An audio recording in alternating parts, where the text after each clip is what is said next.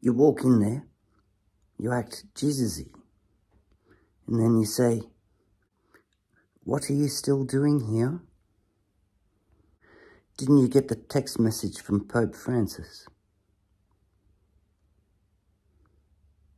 See how that goes.